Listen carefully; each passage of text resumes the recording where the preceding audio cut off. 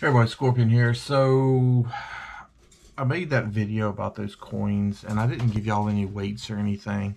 And it just popped in my head that that might be important um, to some of y'all. Um, you may want one that's light, or you may want one that's heavy.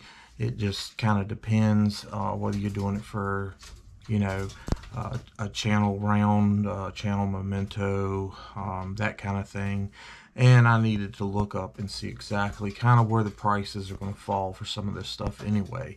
So I went ahead and pulled it back out and I'm going to show y'all some weights on these to give you some idea, you know, where it's going to be. So y'all stick around. Be right back. All right, so we're going to start off with the aluminum. So that's a 40 millimeter and three by three millimeter, I believe, thickness. Um, so you're looking at 0.2 ounces, as I said, super light. You can hardly even tell it's there. Now, you zinc, you've stepped it up a lot.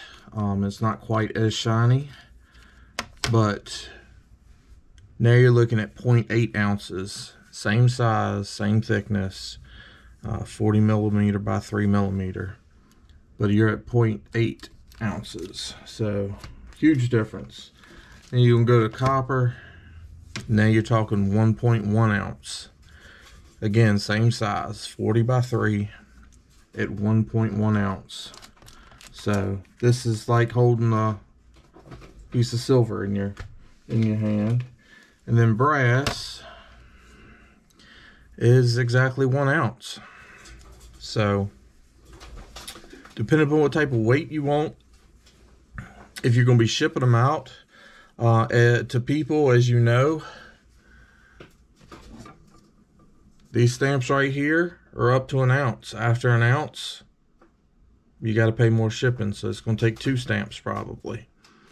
Uh, especially if you throw a sticker in there or something. So if you're doing brass or uh, copper, you're going to need two stamps.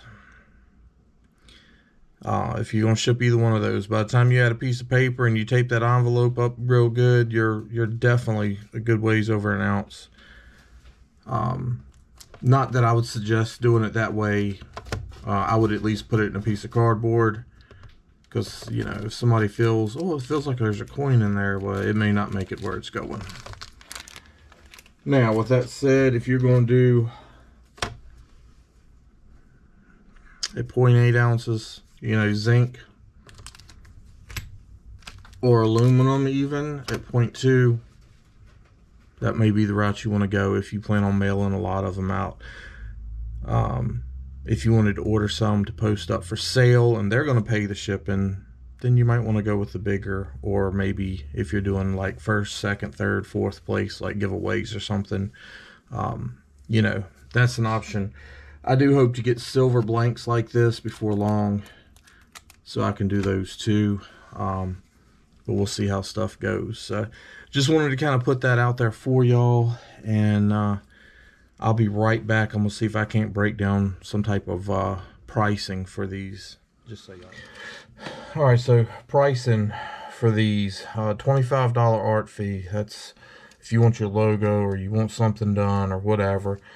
Get a hold of me. Let me know. Email it to me. However, there's going to have to be adjustments made to it, and it's probably going to take a couple hours. Um, so it's $25 art fee, but once you've made your logo or whatever, um, the setup is done, maybe I should say, then that's a that's a one-time fee. That's it. Uh, aluminum rounds, again 0.2 ounces they're gonna be about nine dollars a piece. Zinc 0.8 ounces they're about 850 a piece. Copper 1.1 ounces is ten dollars a piece and brass is one ounce. They're gonna be 950 um, it's gonna be fifteen dollars to etch each one that you want to do. Um, if you want 3d engraving which we're not ready to do yet you're looking at 30 to 50 dollars each. It just depends on how long it takes. Um, you start looking at hours and hours uh, to do the 3D engraving on there. So if you just wanted to make something really special as like a, a 2K channel, you know, you know, Scorpion 2K reach on 2, 3, 23, something like that, and you wanted a 3D, then, you know, you'd be looking at, that'd probably be pretty good. But other than that, I would just say etch it. And as you go up in your numbers, that will change. Um, if you're ordering like 50 or more or something, this may come down to like 12 or, or 10 or something like that. But we'll see as we uh, do stuff and there's going to be a shipping charge as well. So I just want to kind of give y'all a price. I've reworked the coins and stuff according to ordering and what it's going to cost me and that kind of thing. So um, anyway, just wanted to put that out there for y'all to give y'all some idea where we are. GoPro stop recording. So going that way is uh, a little bit expensive. Uh, but it does give you the mobility and option of changing stuff anytime you want to. Um, changing your design, uh, putting your name on it, uh, anything you want. Uh, and I'm gonna work with people. Um, that's just kind of a base price. Um, so, you know, $25 art fee anytime you've changed something. Then the price of the coin, and if you're getting a few coins, if you're getting more than one or two or more than five, I'm gonna cut that price down a little bit. 25, I'll cut it down some more uh, 50 I can cut it down a little bit more uh, price you know each and and etching we'll see how that goes. I'm not sure if I'm shorting myself at 15 to etch it uh, or if I'll be able to cut that down some. So a little bit of time we may be able to you know change that a little bit as well. Your other option is going to be get a hold of D-Wing on Instagram. Uh, if you get a hold of D-Wing on Instagram, you can get a 40 millimeter press stamp or maybe a 39 millimeter or 38, something a little bit smaller than a coin. And just like that, my camera quit. All right, where were we? So, anyway, get a hold of D-Wing on Instagram and get you a stamp made. It's a press stamp you can have it mailed to me and I'll press stamp them out for you. And instead of it costing you 10, 15 bucks a coin to have it engraved, um, you know, we can do two or three dollars a coin to press stamp it for you. And it quit again. Um, but yeah, a couple dollars, I'll press stamp them all day long for you. Uh, order the coins, stamp them, and uh, send them to you. That would in the long run be the cheapest way if you're planning on doing hundreds of them or something, you know. Um, but I mean, the press stamps are they're not they're not cheap. They're uh, let's see, let's see. Uh, I'd say you'd be looking at probably close to two hundred dollars uh, to get a press stamp with your your logo made or whatever.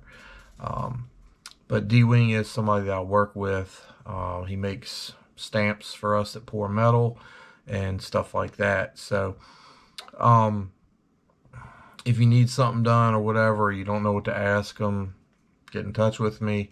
However, email if you got my number, call me, text me, whatever, and uh, I'll help walk you through the process, and we can get that made. And uh, I'll I'll press stamps, you know, your coins if if you're looking at keeping the same design for a long time because uh, I just paid them like $300 because I just ordered a press stamp um, and a small stamp for the company. So, anyway, hope everybody's doing good. And uh, any questions, let me know. See y'all around.